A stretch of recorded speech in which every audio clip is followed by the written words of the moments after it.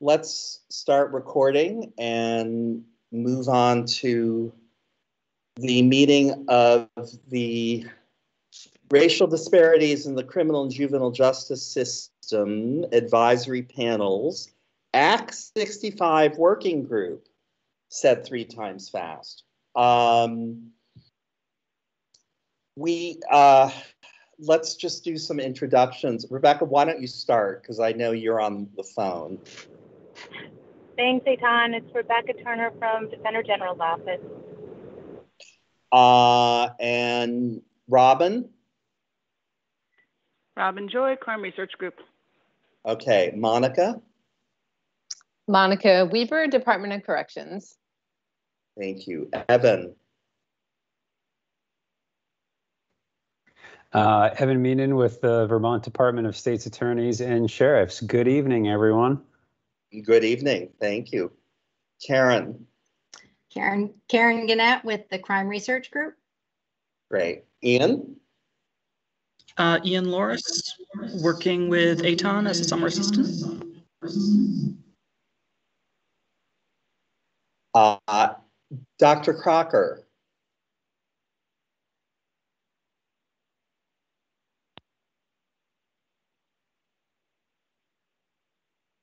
Um, you're muted.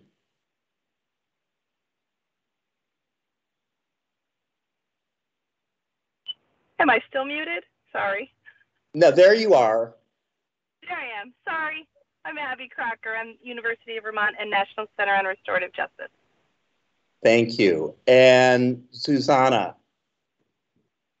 Hi, Xusana Davis, Racial Equity Director. Great.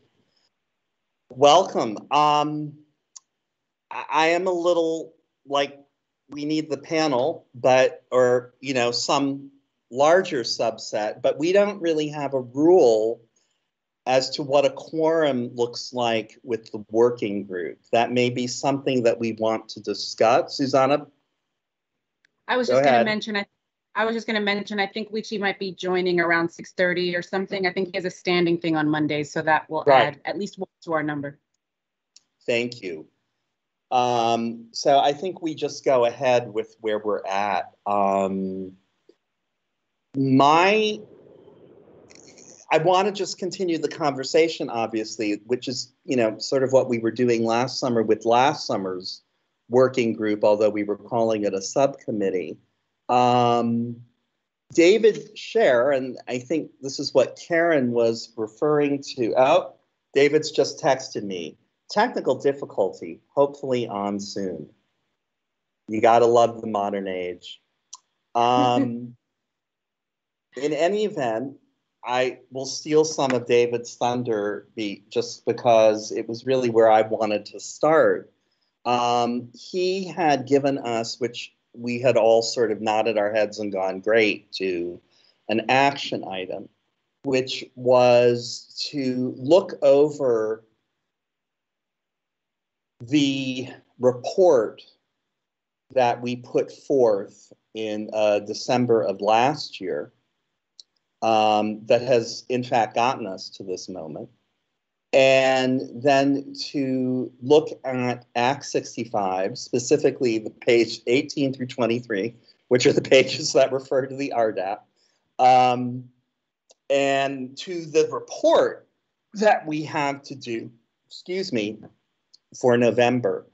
And that we then look at answering question three, which was about the scope of the body that we are proposing. So I'm, if there are no objections, oh, hi, David. Um, if there are no objections, I would suggest picking up that conversation from that point. I'm hoping everyone had time to look over these, those uh, links and documents that I sent. Um, I would start by being very, as the chair of the panel, I there's a certain uh, conservatism that's required of me, and I mean that in this in the not in the Republican Democrat 21st century American way. I mean it in the sense of conservatorship, that I am to go with the bottom line on something. And if people want to go beyond that, that's fine. But that's not necessarily my position. I will explain what I mean, and that is to say, I, when I re- read these, I look at the report from December of last year, and it's between the bottoms, bottom of page four and the top of page nine are the prioritized lists of data that we had at that point decided were critical. Um, although I should also point out that the non-prioritized stuff was considered important too.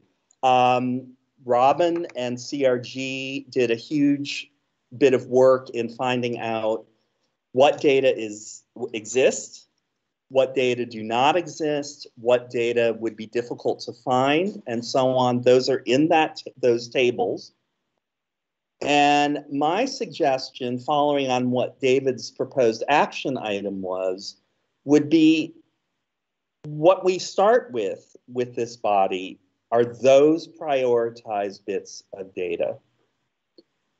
I say that for a number of reasons. First of all, it's not our job to expand this into the future.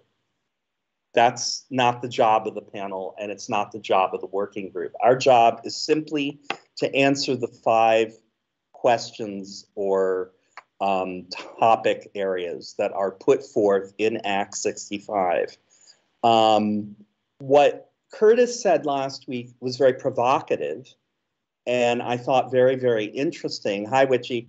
Um, but we're a legislative body, and the kind of partnership with the private sector that he was proposing is something that I mean, I would defer to David and to, I guess, Evan and Rebecca and all of the people who like do law about whether that's even possible.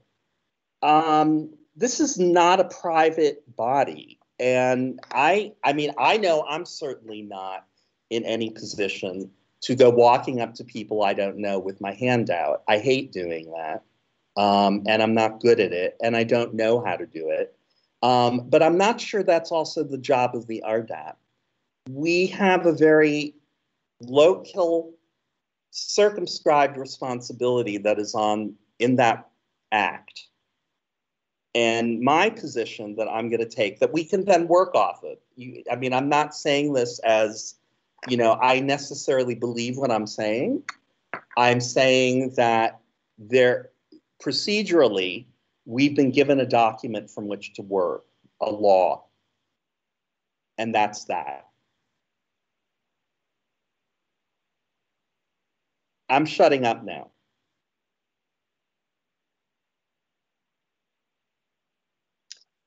Hey, Tom, this is Rebecca. I respond. Sure. Hi. Hi. So I hear two points in your in in, in your um, opening, which is a you propose that we follow what we uh, decided in our past report, which was identifying and going forward with the previously identified uh, questions, high priority uh, answers that we want. Um, what's sorry. I think you went away just when you were saying something important. Yeah, no, I'm here. I'm I Okay. I support I second your um I second your point that we should not reinvent the wheel and move forward from where our report left off, which is Okay. specifically on on identifying the previous uh, data collection points we wanted as identified as high priority, um, without ignoring the fact that we also identified other ones. Uh, the second point I heard you say was the issue of whether or not we wanted to discuss further or explore uh, the idea of a privately funded data entity. If that's what I understood what Curtis was Mm. saying, something alternatively funded, some alternative funding to the government funding. And I think that um, I, I'm at this at this point loath to go down that route only because that just to me opens up a whole nother can of worms of accountability and, and questions of protection of this data that I, I don't know where to begin. Um, I certainly don't have a model that I can turn to, and maybe others have some uh, somewhere for us to look, where some private entity did a great job taking that kind of level and amount of data and making sure that the people whose data is being covered, that their privacy protections were ensured. Assured. And I just don't know. But at this point, I would agree that Dips is thinking of this as a government entity, uh, whether it's a new entity or whether we identify a place within a current department or agency. Okay. Thank you. Evan. Um, so, so I, I definitely agree with Rebecca about the, the private entity bit. I have some hesit- hesitancy surrounding that. Um, you know, I, I also agree with the both of you that to the degree that we can rely on the previous report to answer some of these questions, I think that's a great idea. And Eitan, I am, uh, you know, I tend to be conservative with these assignments as well, especially when we get a tight deadline. And so, from my perspective, if we can, if we can answer these five questions from a high level perspective or a general perspective, um, that would be a good thing. It also has the advantage of allowing the Bureau some flexibility in how it finishes standing up the organization. And it gives it a little bit more ownership and possibly opportunity. Well, I don't think they're going to need buy in. I think they'll be all over this. But, you know, there are some advantages to that as well.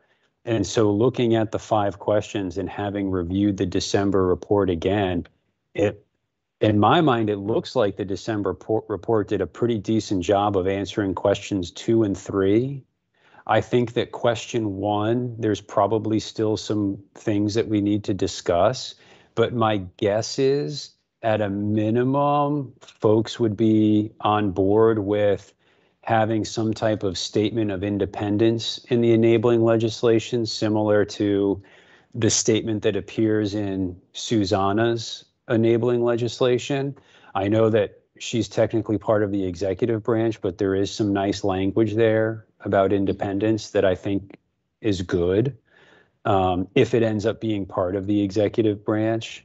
Um, and so it seems to me like questions four and five are the ones that might be the most difficult to answer.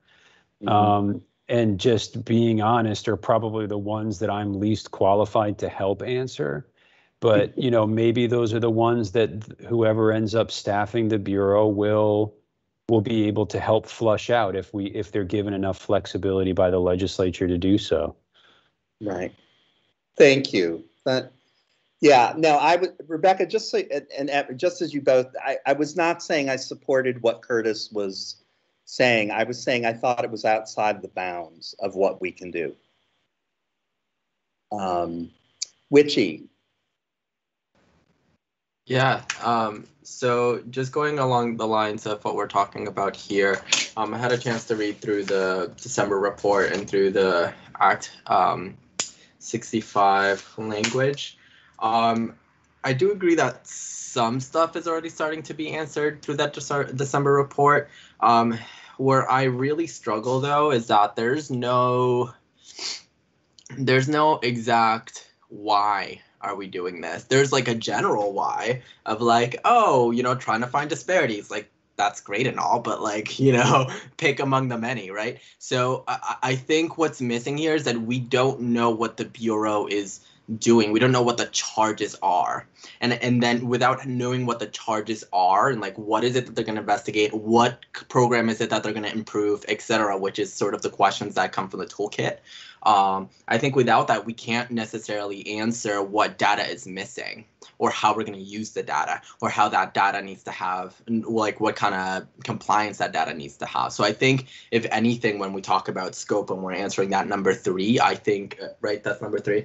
Yeah, we should really, like, I think the general scope is really set there. Like, we don't need new language that's already there, but we need to figure out what is what is the first five years of that bureau what are they supposed to be doing? And I think once we answer that, we can answer the uh, we can answer a lot of the other questions. Okay, thank you. I, I- if I- Anyone if- else? If Yeah, I go can, ahead, I, I think that I think that's a really good point that Wichie just raised because when I went back and I read the report, it had a lot of information that the bureau is that we would like the bureau to collect. Um, and I know that in from a very general perspective, the idea is to identify where racial disparities in the criminal justice system might be present and what the causes of those might be but it was not entirely clear to me how the Bureau was going to use the data that we wanted them to collect to answer some of those specific questions, like how that, how, and, and, I assumed that was just me not understanding how to do that level of data analysis because I'm not a, a researcher. But I, I think maybe that is, I think that point is maybe covered in, in what Wichie was trying to say. And so I, I appreciate that point. Okay.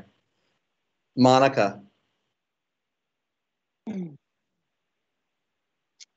Yeah, sort of building off of that when I was, you know, looking at the um, AISP document and thinking about mission and and you know what what we what the bureau would do.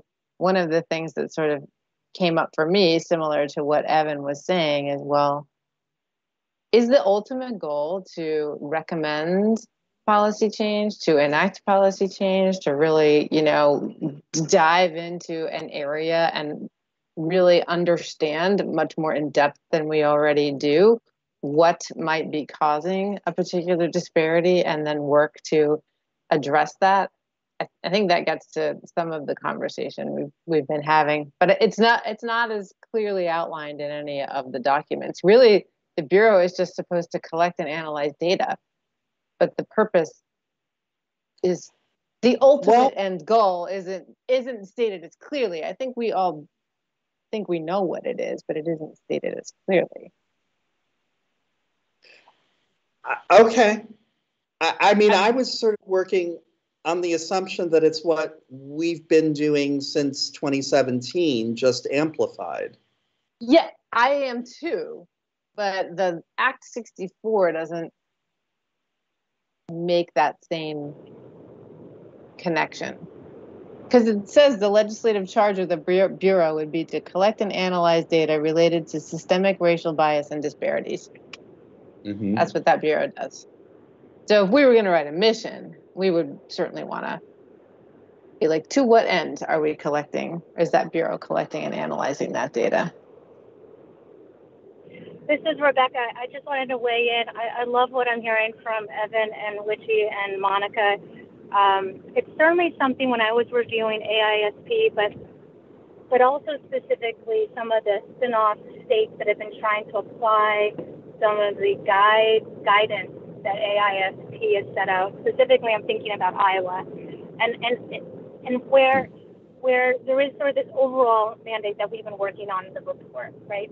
Which is fundamentally trying to understand, dismantle white supremacy and these systems, right?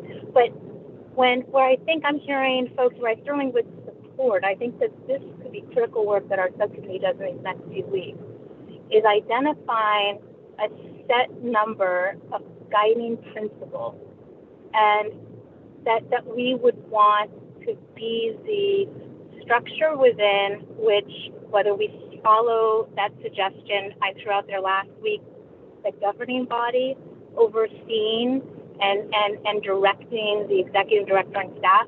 Again, that's just a model to be able to, to anchor this, but that that could be the principles we identify as the overarching critical principles, create the, the finite framework so that folks don't stray outside, where we can keep the use of this data to be in a way both useful but not overly broad and potentially used as a weapon against people's data this is about. So I would support that. And in fact, perhaps if we agree on sort of that this is where we want to go, that our homework is to sort of start identifying what these would be from our respective um, interest areas where we come at this from the panel, but specifically again applying the AISP racial center piece to make sure the community members get some input on this, um, and, and, and people with lived experiences, all of that.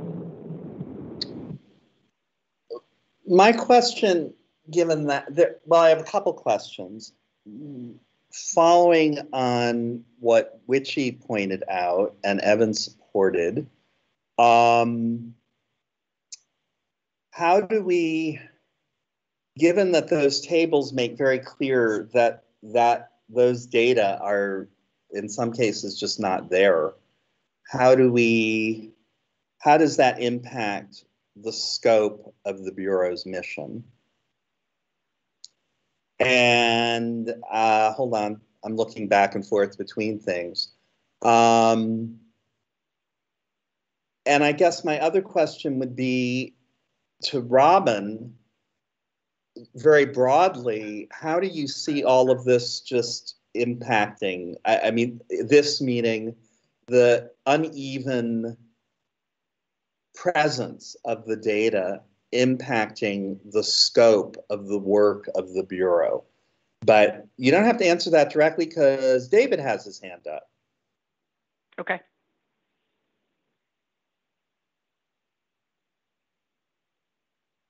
David, I think Is you're, you hear me? dude, you're like in an alternate dimension. I think you've frozen. Oh dear. Uh, they really don't teach you what to do in these situations, you know? I, I've seen some people have luck turning off their, their video and sometimes Oh, their audio They've just- helps a little bit. Yeah, sometimes he just needs to call call in on his phone like some of the other people are doing. Depends on where he is. He looks like he's somewhere where maybe he's. He's somewhere interesting, but Mm. Monica, why don't you have your hand up? So go ahead. I ahead. do have my I do have my hand up. Um, and so you know one of the one of the struggles that I have, um, and one of the things that I I think I hear other people struggling with is sometimes going back and forth between focusing in on the data, the data, the data, and what about the data, um, and this where is this available, and how is it going to go back and forth, and um, structural stuff around the bureau.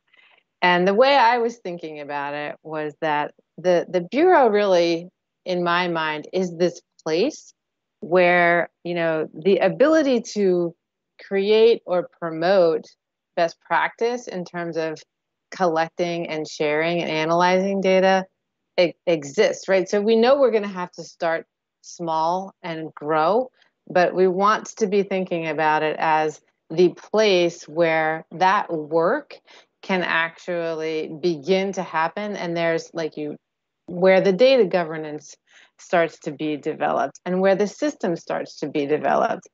Personally i don't think it's helpful to think about right now the individual pieces of data per se. Um, and so i just wanted to put it out there because that helps me think about these things in a different way. Um, and it may not be what everybody else thinks but I thought I'd share that.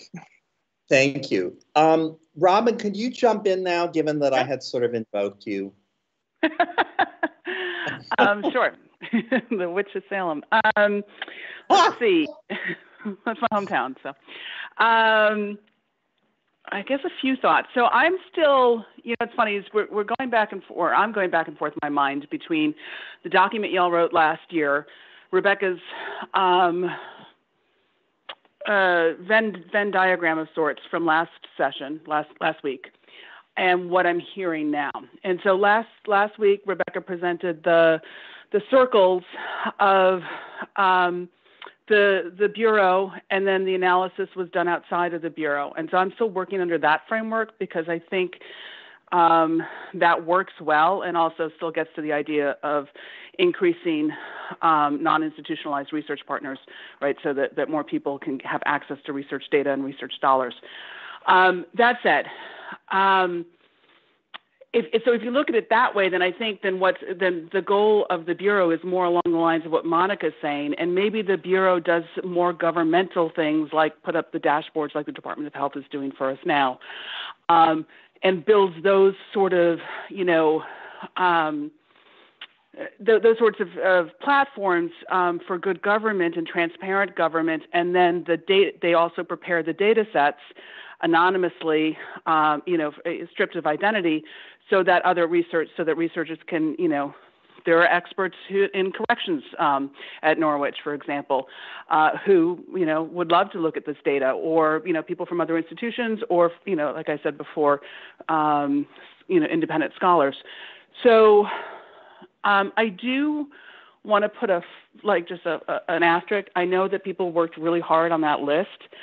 I think data lists are um, not always the best because some of that list also comes with a cost that we're not going to be able to, you know, we're not going to know what that cost is for you to write the bill. So you may want to broaden, for example, to take Eitan's example, uh, the ethnicity categories, which is an awesome idea. Uh, as, as I understand, DOC, you guys are already doing that. Well, what's it going to cost for DPS to pay their vendor to increase that level, right? To increase those levels, and what is the um, what is the process?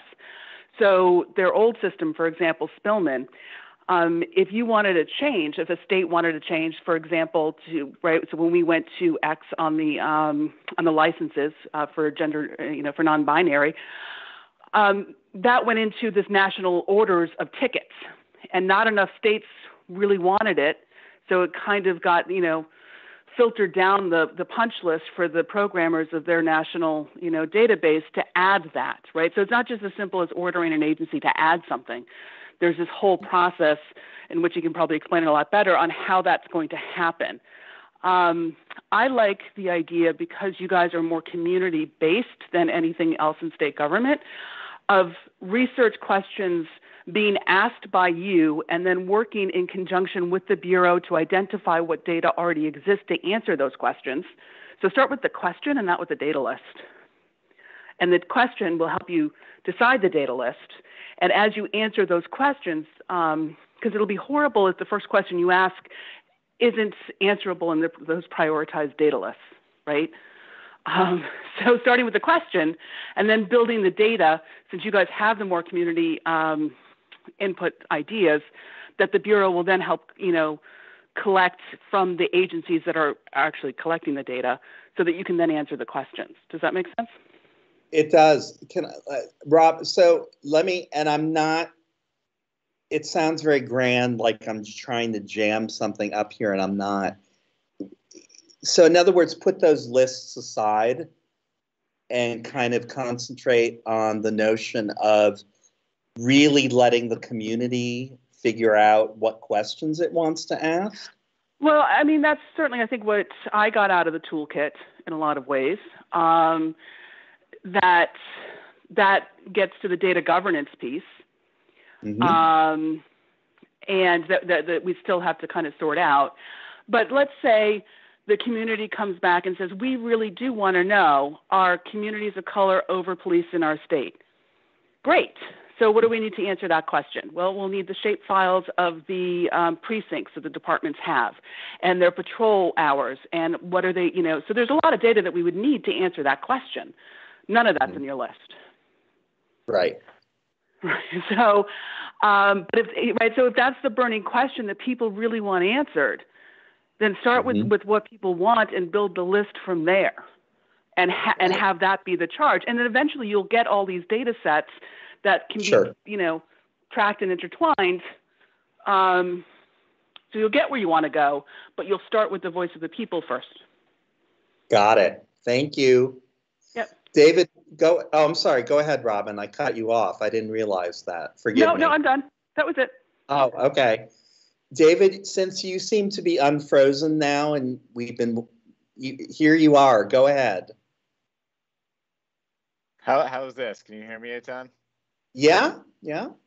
Great. Okay, let's try this. Connection obviously is is uh, spotty tonight. Um, a couple thoughts just on the on this conversation. You know, I think um, as we conceived of this, the the bureau is going to be a spotlight and not a compass. In other words, it's gonna. I think our idea for it originally had been that we're going to um, not prescribe solutions. The bureau is not there to prescribe solutions. It is there to understand the problem. Uh, and the problem as this body had already conceived of it, or, or I guess the thing that this body wanted to know when we started talking about this stuff was where in our criminal and juvenile justice systems are there unequal outcomes on the basis of race? And which is a very big question, of course, but that is what we wanted to know the answer to. And so we developed those lists um, last year in that report. And of course, they're enormous because to learn the answer to that question, there's a lot of data that needs to be gathered. There's a lot of points where that could be happening. Um, and then we narrowed it down to those prioritized ones because I think we made the decision, the the the subcommittee with the input of, of panelists made the decision that the sort of like early we wanted to re the things that were most immediately pressing were the first part of how do people get into this system? Like, how's that happening? Where are the inequalities happening on the intake side of things? And so, and I, I don't know if I say all that just to say that I, I do actually think that the questions have been asked and that the, the sort of organizing uh, question has been asked already. It's a very big one. Uh, and it's not one that is actually designed to produce solutions. It is simply designed to produce um, an understanding of where the problems are. And then it will ultimately become the mission of all the various entities in state government to try to figure out what those solutions are. Um, I don't know if that was helpful at all, but just trying to like restate some of what our discussion had been as I recalled it, because I do actually think we had been working off of um, some a fundamental question, and uh, our idea around this had been actually had been responsive to that fundamental question about where are there unequal outcomes on the basis of race, and then the understanding being that with that information, we will design we will hopefully be able to figure out solutions, but that won't really be the Bureau's job. That's a subsequent job for legislators, groups like this, perhaps this group itself, um, prosecutors, defense attorneys, everybody. Okay. Uh, Evan, can you hold off a moment? Because Wichie's had his hand up for like a bit longer. Wichie, go ahead. Um, so I there's a lot of thoughts in my brain, so I'm sorry if I just like end up vomiting them. Um, but um, so I think uh, I think there's a disconnect for me between what David was saying and what Monica was saying, because like on one end it's sort of like okay, so the so they're just gonna give us the dashboards. We'll figure out. We'll figure. We'll sort of like figure a lot of it, uh, the specifics out later. And David saying, well, the specific thing that we're trying to do is where are the disparities, uh, which I also feel generally it's like a very that's a very large scope. You know, given that you have to prioritize that data list. Um, I I agree with Robin that um, it's important to like know what it is that we're like asking and who's asking it. And when I look at the Act 65 um, was it the 65? One of them says that the whole point is to have a public dashboard for public transparency. Um, you know, and even if that means being able to export for academic uh, purposes or for institutions, um, I just think like, you know, I, I I think we sort of need to set a path. We we need to set the bureau on a path that can be develop research questions with communities and figure out what data we need for that it can be research this this like smaller scope to figure out if there's a disparity and why the disparity exists. Um, but i don't necessarily feel like it should be like here bureau figure it out right? Like i think we need to like set it on a on a path. Um, with obviously with with the community being the guiding force um, which i agree with robin is what the toolkit is saying. Okay Evan. Thanks. So I'm a little worried that I'm I'm gonna I'm gonna start just endorsing what other people have to say rather than offering too many uh, original thoughts. But I, I just wanted to follow up on what Robin was saying, and and, and I think that uh, you know I agree with what she was recommended recommending, and um, going back to what the mission might be, thinking about that specific question. Um, you know, maybe as part of the mission statement, we could we could have that the bureau one of the bureau's responsibilities is to help identify what additional data uh, might be needed to they might need to collect because you know I wouldn't want to make it so restrictive that they don't have the authority to collect the data that they need but I also wouldn't want to make it so prescriptive that they start collecting data that they don't think is helpful in answering any of these questions um, and another thing that could be helpful with the mission statement is you know, providing assistance to the owners of that data who might not have the expertise to collect it and report it out on their own. And one of the things that might help the Bureau do this is if they're enable if in their enabling legislation they're specifically given some rulemaking authority to answer these types of questions because that rulemaking process although it can be difficult with members of the public to engage in it's at least a, a venue for some engagement. Uh, it's not perfect, but it it could help. Okay. I just Karen. Say, I hate rulemaking, but I get your point. that's just my dis. That's just my dislike for rulemaking. Hey, hey, Tom. Maybe, Hey, Tom. maybe we'll put you on that committee. oh, I'm sorry, Rebecca. Did you were you talking? I was just saying, just put me in the queue for, for, with my hand up whenever. Okay. Can't tell Ahead of me. Karen goes. Karen wants to speak, and then you. So I was just going to say that uh, I think I actually think both David and Robin are right. Um, and and this can be, you know, when you think about creating a plan, um, some kind of strategic plan for an organization or, or a program or process to move forward, um, you can have an overarching goal. And I think that's what that's what was set out in that original report was there's this overarching goal of identifying disparities in the criminal juvenile justice system but part of the challenge with that is how much data do you have to collect and where do you start so it's really important to start taking a look at how do you chunk that out and robin and i have talked about this well since i started with crg and actually i did this work for the judiciary for 10 years is how do you chunk it out? So, how do you look at the disparities in probation? How do you look at the disparities in sentencing? How do you look at the disparities in law enforcement responses to whites and people of color?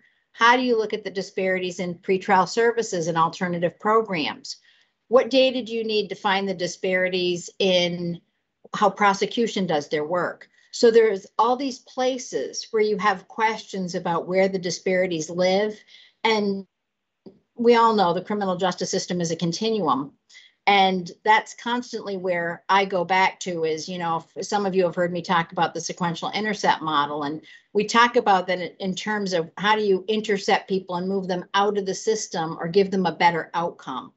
And it's the same kind of process with looking at the data is the data you need for looking at law enforcement are going to be different data than you look at for probation and parole. So there's, you know, all the, I looked through a lot of the um, information on AISP and the, the resources that they um, talk about on their site. A lot of them were the same thing and it all kind of pointed back to the toolkit. And the toolkit specifically said start small.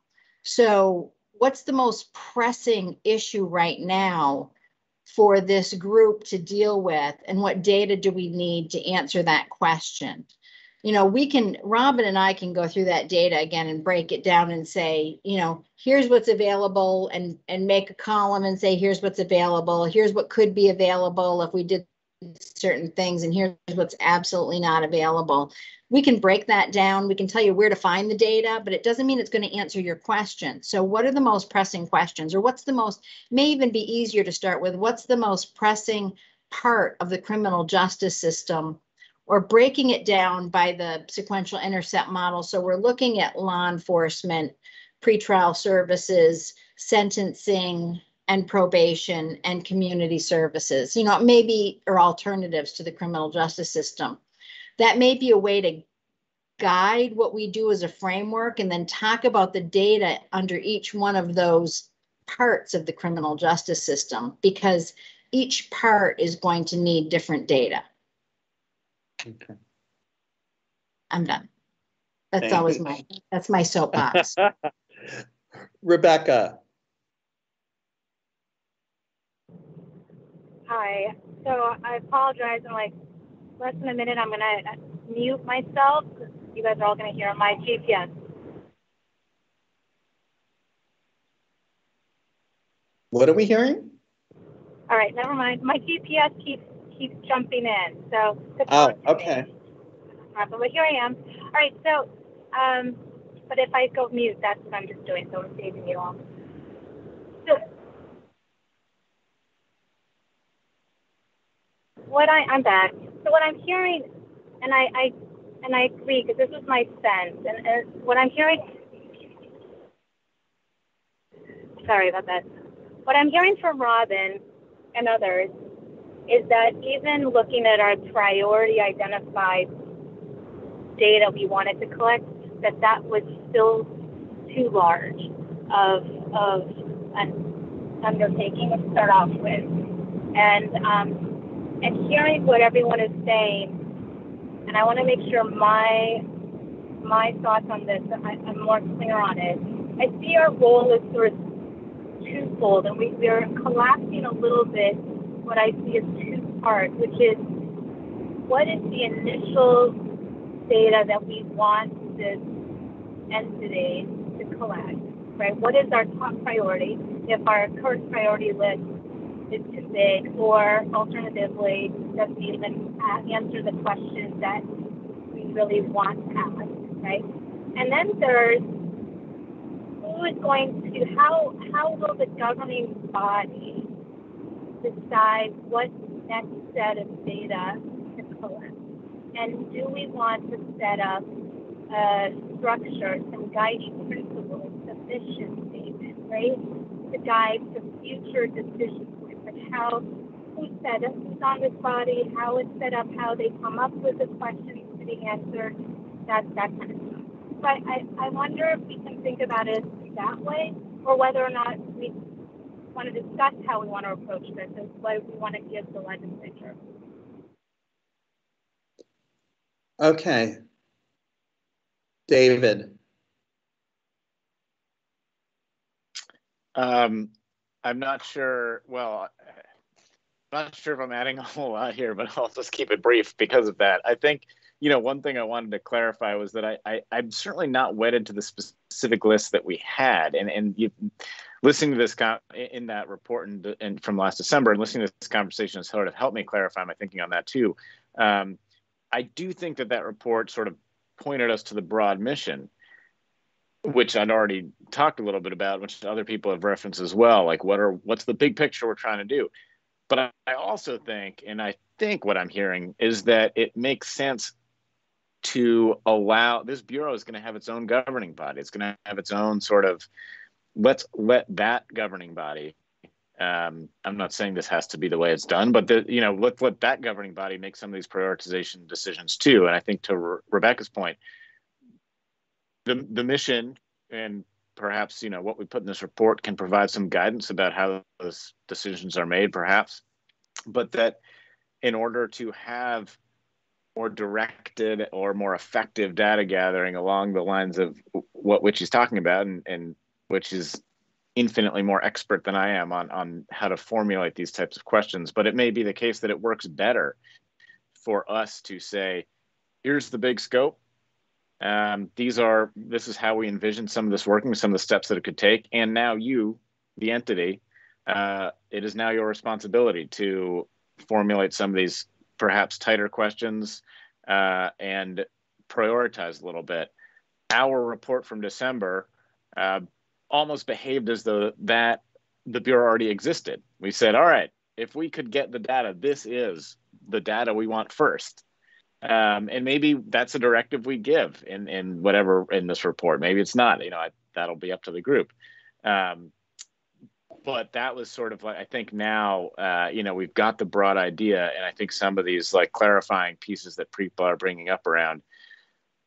We need to allow this bureau to be able to do its work with um, slightly more slightly more directed questions, and that should be within their purview to do. So all that is just to say, I I agree with what folks are saying around being wedded to specific data lists is probably not the way to establish this, and asking instead the big questions and then allowing the bureau itself some discretion within those big questions is probably a more effective way to have a workable operation moving forward.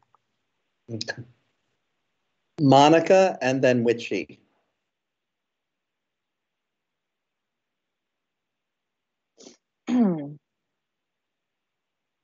There's so much going on. I'm trying to figure out if what I wanted to say is like add, added value or just more like you know talk talking. That's what i'm oh just, just so and just because i was trying to figure out like you know i was sketching things out and writing things and i and like on my piece of paper here i've got like this broad sort of mission statement that really you know is and i'm not wedded to this at all but the idea i was thinking of the bureau is that it its real job is you know to create or promote or develop you know a structure um, that allows access to data and information that's centered around racial equity, right? that, And that Bureau for that purpose.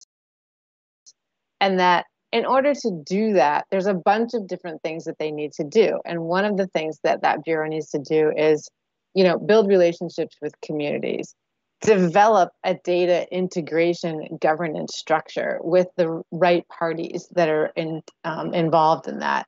Follow best practices for sharing and integrating data analysis and reporting. And then I've just heard some new ideas. Develop a strategic plan.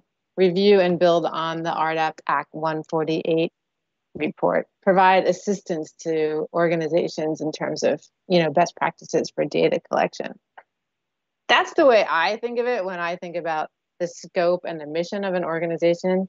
Um, and so that's just where I had been going in my brain, if that's a helpful structure for people. Well, it, Wichie, can I interrupt for a moment here? Thanks. Monica, I that's intriguing because I was doing the same thing. And what I was thinking of doing um, as an action item for myself was sketching out a mission and submitting it to everybody. I can't believe I'm saying. I'll send you this. what I wrote down. that would. I guess I'm doing this. Um, I'm going to use Monica's notes and some of my, are the thoughts that I've gathered from everything that's been said so far, and sketch out a mission statement that I'll then disseminate to everyone. And I am thinking this partly because one truth that I don't think any of you will be able to dissuade me from after chairing this panel is that if there is a written document in front of people that they can rip apart and reform, it goes a hell of a lot better than coming from, you know, some genesis moment of let there be light. That never works. So I, Monica, if you would if you would forward that to me, what in whatever form. Oh, I don't know. I'm not going to take it. No, I'm not going to take a picture of my paper. I'll type it and send it to you. Thank you. Thank you. Yeah, I suddenly realized as I was saying that I really didn't mean it, and that I was like, Fine. how am I going to backtrack on that? Um, but yeah, and I'll like write something up that's taking everybody's. I mean, Robin and ev- I mean everybody who's been Wichie, Evan, y'all, y'all, and Monica and put it together best I can. And I'll probably leave somebody out. So get mad and edit it. You know? Wichie, your turn. Yeah, um, I agree that seeing things in writing and then taking it apart and putting it back together is gonna make things go faster. Uh, I really like that list, Monica, that you just gave. Um, and I think that aligns really well, I think, with what we're all trying to say, which is sort of like have this bureau answer the questions and then that question be formed by a committee of stakeholders um, and that committee of stakeholders be it however we want to define it um, keeping in mind that we talked a lot about community um, and i think i think that's kind of what we should approach this with that the you know this bureau is just in charge of creating the data uh, and the data sets and the dashboards um, and then we have the committee actually ask questions. Um, we could broaden it so in, in addition to the committee there are other agencies that can a- ask questions but you really want some kind of reporting process. So think so you know priorities don't get mixed and like who answers to whom. Um, right so uh, i think though to keep in mind that the data infrastructure that this bureau is not going to be able to develop an infrastructure that makes sense without the question being asked first. So this committee needs to really be this committee of stakeholders needs to be really formed at the same time in order to ask these folks, hey, design a system that answers these questions and that also lays a foundation to scale from there. Which sounds like something that needs to go into the draft legislation when we get to that point. I think. Evan, would you agree? David, would you agree? What Wichie just pointed out. I, I think I think I would, yeah. That if you know, s- setting a baseline or some guiding principles, and then allowing the entity itself to expand upon them is not a model that is. I mean, that's a pretty common model for enabling legislation for various state agencies that are delegated authority by the legislature. So, uh, is, is probably a more a, a, better way of articulating the sort of rulemaking concept that I was trying to as as as cumbersome as rulemaking can be, Monica. Uh, you know, um, I think that that might be one avenue. You know, obviously that it could use. The Administrative Procedures Act also has you know provisions for coming out with guidance documents and procedures that don't rise to the level of rules, and hopefully this entity would be able to take advantage of all of those tools. Wichie, can I ask you? This is so unfair. I want you to remember everything you just said, and I want you to write it down and send it to me. or as much of that as you can, because it was really eloquent. It was Sure, really can I- eloquent. Can I include some pictures? Some just like drawings. Sure. I what Okay. dude, whatever gets you through. um, yeah, great. Um, pictures would be great. Uh, whatever gets, but you, what you were saying about the sequencing, the sequencing of the question formation and the question asking and the question answering was really powerful, and that would help if I looked at that when I look at what um, Monica also was thinking up too. So I just wanted to throw that out there. If you, I mean, I know I'm giving people like jobs. I'm sorry, but it's kind of my job. And, um, but that would, but it really was wonderful. And that's why I'm just like, please.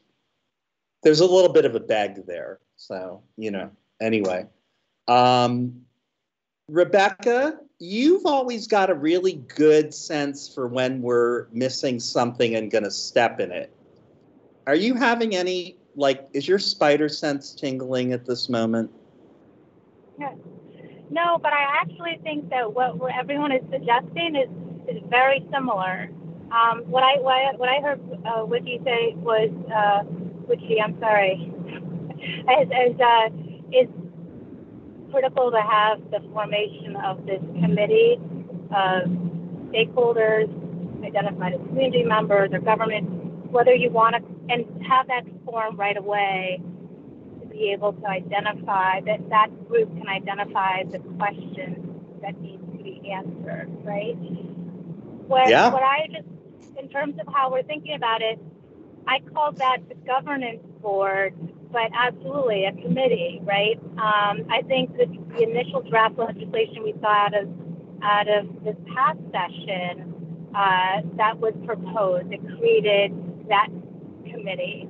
Um, and maybe we start thinking of the entity. Uh, I am deliberately calling it an entity and not a bureau because I've expressed my dislike for bureau, the bureau before, but I'll keep doing it. So maybe we just start thinking about the entity um, as something bigger, including this committee, and then the uh, the folks who will be pulling all the data together and doing the dashboard and getting getting all the data from all the government people.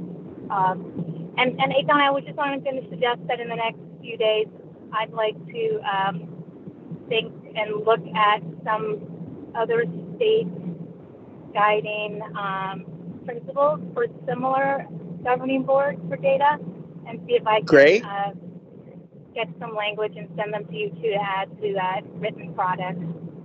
for I. I, more is more. Thank you. It also occurs to me that we've gone, and I just wanted to put this out there in a bit under an hour, a long way to answering number three. What should be the scope of the Bureau's mission? And it seems to me, listening to everything that's gone on, that a lot of that is to figure out what questions are appropriate and how to ask them. Um, not that that would be the mission statement, but I'm just saying for us, it's already feeling like what we decided we were going to do last week is sort of falling into place to some degree. Um, I will. Um, my sense is number two isn't really going to. I don't know where that's going to get asked or answered. Rather, I, I mean, I that's going to be all y'all data people. I mean, I, I, I didn't mean that dismissively. I meant it more like y'all know what you're like the rocket scientists, and I'm the staffing. I don't know what's realistic. I just have no way of knowing that. Evan. Yeah, the, the the only thing I was going to add on that topic, and I'm not I'm not saying Connecticut got it right or got it wrong, but um, in the re, in the report, my recollection is we identified that Connecticut needed three full time yeah.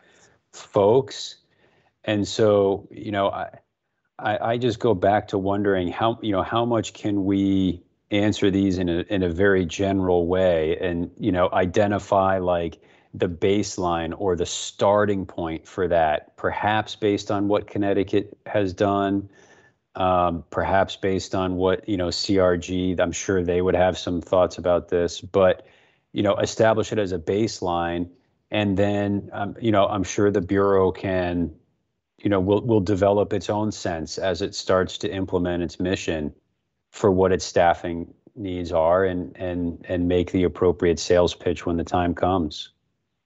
Okay. Yeah. Thank you. Wichie. Yeah, as far as staffing goes, um, again, it'll depend on the scope, but I think as a general starting frame, I would say um, minimum of three positions, but four main responsibilities. These responsibilities would be um, someone to be an architect to design the the infrastructure, an engineer to build it, uh, an analyst to do the dashboarding and reporting, and uh, and project ma- and someone to manage the project. Those are the four main responsibilities that I would see going into a project like this. Uh, wow. I can write that down. I'll send it in that email. You, dude, you knew where that was going, didn't you? Yeah, You I- knew- I yeah, yeah. I'm really. It, in about five minutes, I'm easy to figure out. Thanks. Um, uh, great. Do we want to go further on this now, or do we want to wait, leave this at this moment, and um, I'll like get to work. I I don't know when. Uh, I don't know when. I'll do it as soon as I possibly can. I'd like to say tomorrow. Um, I'd like to say tomorrow. Uh, I'll see how my day goes. It may be a little later. Don't hold me to that. Um, but I guess what I'm asking is, do we want to hold this now and then go back to the conversation about um, the siting of the bureau of the entity, or what do people feel? Evan's nodding his head, like sure. Okay, let's do that. Seeing no objection, um, the only thing I would say to start, and this is coming from last week, was um, I think it's important that we note that the the whole idea of the the independence was really we like independence as a notion, but structurally independence is really difficult for an organization like this. And that's all I want to put out in as a preamble to that discussion.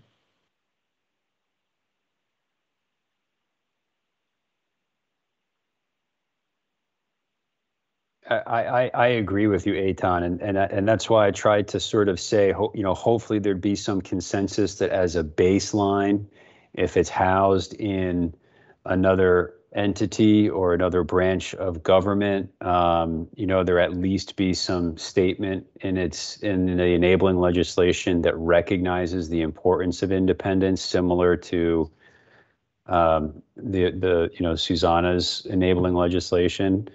Right. Um, but you know, I think that if whether it's a standalone entity or it's housed someplace else, I think is going to be influenced at least in part by practical and fiscal considerations. And so, you know, I I think it would and and I don't I don't know that we will be able to fully answer that, which is maybe why we answer this in a more general way, but I would once we once we figure out what the mission is going to be, I would want to know: Are there any other entities in state government that have similar missions um, in terms of, or, or perform similar tasks in terms of data collection, even if the subject matter is is different, or is there an entity that is well situated to help facilitate the transfer of the necessary data?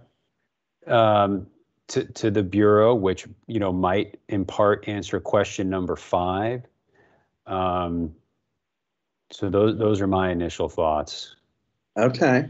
Um, may I have a? yes, Robin. Are you sure? I'm just saying, like, I'm raising my hand, so. No, no, you're Okay. there. Nobody else has their hand up but you. No, thank you. So, um, words of caution as you guys are thinking about where this entity, I'll use Rebecca's words, uh, live. Um, let's take, for example, the Sentencing Commission. We used to have a paid executive director. He's now Judge Kanan. Um, first budget rescission, his salary went, and so did he. Um, you know, having we the the State Statistical Analysis Center when we were the Vermont Center for Justice Research, we used to have our own line item in the budget that got cut and cut and cut um, until DPS brought us in under their budget um, to kind of continue to fund because the legislature was going to keep cutting that budget over the years. So keep in mind who is going to protect the entity um, from those from that first budget rescission that's going to happen. Um, and, and so who has the kind of ability to advocate um, institutionally in some way. And I don't know what that looks like. And it could be something like the board of directors for CCDS, who is a separate entity, um, but get funding from the states along from other entities. So my fear is that you set up this thing in the first budget rescission. That's the first thing that goes. Um, and that can happen because I've seen it happen over time. So that's my only word of caution. Thank you. Right. Th- Thanks, Robin. Xusana. Hey, I just wanted to, um, I wanted to say that I think we should, if, if we want a greater degree of independence, we should probably not model it after the enabling statute that created my role because that's not in there. Um, it was in the original draft that advocates brought forward, and through all of the negotiations and compromises, it ended up getting largely cut. Advocates are still um, calling for it. There was a bill on the wall last session to make some modifications, but I'm I'm not. It's not clear to me that those bills will get hearings. Um, I just put in the chat the enable the the the code where it appears. Thank you. Uh, oh God, I forgot what I was going to say. Um, I was following Evan. that about needing that we need to have a mission draft of a mission statement before we even go back to one because it'll tell us what that entity needs to have for qualities in order to make the mission possible for the entity. Rebecca, I'm finding myself fascinated by what you might be thinking as you're driving down the interstate. Uh, thanks, Eitan. You just saved me from trying to awkwardly jump in. I hate this, not seeing you guys. Um, taking Robin's point to heart, taking uh, Wichie's point, which is about making sure there's enough infrastructure there. Also, hearing the echo of Secretary of State Jim Condos. Um, and of course, Evan's um, underlining what we as a panel were unanimous about last year, which was the need to have this be independent. Xusana, I appreciate you pointing out uh, and correcting us in terms of looking at the language that enables your directed as not the model. Uh, necessarily, we want that sense of independence. I'm back to I'm back to increasingly resting on those recommended entities within the executive. Uh, and, and, again, full disclosure for the new members on the panel, um, the Defender General's uh, office recommended Secretary of State, uh, Auditor's Office, and Human Rights Commission, one, two, three, in descending order. And I'm back to thinking those are the three places. Again, the, it's established, it'll provide some protection. Not Department of Public Safety, independent side to it, right? Uh, and um, yeah, and, and the infrastructure problem with certainly the comparison between Secretary of State uh, versus auditor's office, absolutely different sizes and uh, scale. But again, that's a matter of increasing a line. Uh, I, I, know not simple politics, but it could theoretically be built some with it. So I, I, I wonder if, if I wonder if others Hello? would agree. I, I wonder if others agree with that or have new ideas and you want to see.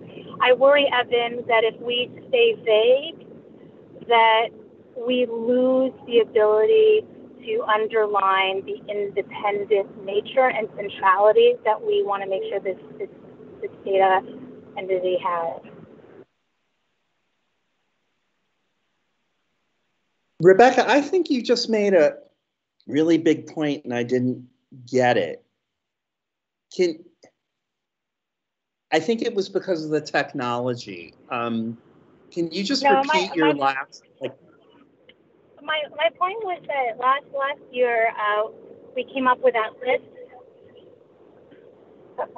Yes. That was a list of entities that Pepper collected from all of us, and uh, I would I would put forth what the Defender General's office suggested on that list, which was um, Secretary of State's office, Auditor's office, Human Rights Commission, one, two, three, descending order. I wonder if the others here on this call, listening to Robin's point um, and Evans in terms of how much detail we want to provide and the importance for independence, whether we should go and make a specific recommendation, and if so, whether there's some consensus even with a small group here. Okay. And conveniently, Evan has his hand up. Yeah, go ahead, Evan. Yeah, yeah, and I, and I I don't I don't recall hearing about those three suggestions, Rebecca. I I think they're you know potentially good homes. The one that I think is the most intriguing is the auditor's office. Um, you know, I'd be interested in I'd be interested in knowing if anyone from that office uh, thought that this thought you know w- was supportive of that idea. Um, you know, it's also I really appreciate Xusana's comment about her the deficiencies in her own enabling legislation because the the language and, and for circulating it as well that because the language that I had been thinking of was uh, the sentence that says the administration shall not prevent or prohibit the executive director from initiating, carrying out, or completing the duties of the executive director as set forth in this title.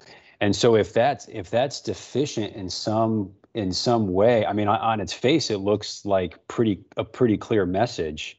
Um, but if that's deficient in some way, then I think that we should definitely um, keep keep those deficiencies in mind in case the legislature also thinks that that might be good language to include.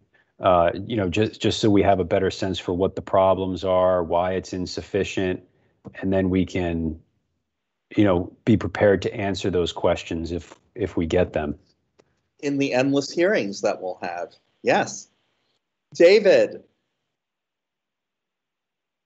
Uh, two things. One, um, I would, Eitan, I, I agree with you that perhaps before making a final decision on this, how we approach this, it might make sense to have a mission in place that, or at least a little bit more fleshed out. That being said, I do think that we all have a sort of general understanding of what we're hoping to this this body will accomplish here. Um, and with respect to the placement, I, I, fall into the camp of being pretty agnostic as to where specifically it ends up. I think it is a reality of politics that in any position, any elected position, may ultimately be occupied by somebody who is hostile to the mission of this bureau, whether that's the Secretary of State, whether that's the auditor, whether that's the governor. We don't know who's going to win those offices down the road someday. And it may be any one of those could be occupied by somebody who'd rather not see this bureau carry out its its efforts. Um, I think that's just a reality. So I would agree that the key here is to have legislation that, um, to the maximal extent possible, really protects the bureau from uh, interfe- interference from a elected official. Ultimately, this is going to be under somebody's auspices, right? I mean, that's just how government works, whether it's five layers below the governor or immediately under the auditor uh, some elected official is going to have a purview over this and it needs to be protected. The legislation needs to be written in a way that gives a, a high degree of protection to the mission. Um, and I do think that that is achievable. Um, and I think there are samples out there. So that's where I would really pr- place the effort here uh, and place the emphasis here is how do you write legislation that protects the Bureau from a potentially hostile elected official, which again, I have to emphasize could be any one of these offices. Um, and, and, I don't have that, you know, language at, at, the forefront of my mind, but but things along the lines of what Evan was saying, and along, and I would um, I appreciate Xusana's um, words as well in terms of the history, which I hadn't been fully aware of, and, and I think it would be helpful to to look at those, to look towards those uh, examples uh, uh, that as things that we could draw from. Robin's point about the rescission, I think, is very well taken, and ultimately shows that the legislature is going to be the itself is going to be the final protector of this, uh, and and we will have to. Those of us who care about these issues will have to continue to advocate in the future as tough budgetary decisions come come into play. Okay. Yeah, I have to admit personally, I mean, we've been talking about where this goes for the better part of a year and you know to protect it. And i'm i'm i mean people are still arguing roe v. Wade on the federal level. I mean i i just am sort of like there's a zero sum game here where you do the best you can do and that's about it. Um, you just can't take in every exigency in the future. And i i which depresses me because I'm a control freak. Um, any other comments on this? Because what I was hearing was, and I don't remember who said it at the moment, but that it would be helpful to talk about the mission and then go back to this. Who said that? I didn't mean that as accusatorily as that came out. I thought you said it, Eitan, but I, I did. I say I it? Oh, dear God, now I'm like got other problems. Um, if everyone agrees with that, then it, I, I'm not trying to like get out of anything, but it looks like this is a natural stopping point for tonight. And that I've got some work to do after um, Monica and Wichie submit some sentences to me, and then I need to get those into some, you know, I'm not even talking about pages, obviously. I'm talking about a few paragraphs here, um, but good paragraphs, and, and get them back out to everybody. So there's something to work on next Monday. I I think that makes a lot of sense. And, and just as a heads up, I unfortunately am not going to be able to attend next Monday, but Eitan, if, if you send that out, I, I'll do my absolute best to review it and get Great. you any comments this week to the degree that that, that would be helpful. I and I'm going to do everything I can to write it and get it out to you, Evan. Thank you, Rebecca. Do you have any thoughts on this? I, I you're just uncharacteristically quiet because you're driving.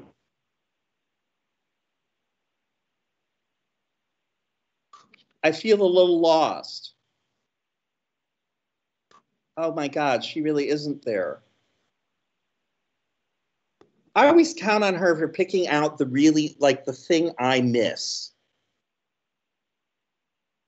Rebecca, please. oh, well, all right. Ah. Does anyone have anything else then that they would like to raise tonight before three of us write some stuff down and one of us really writes some stuff down and gets it back out to you.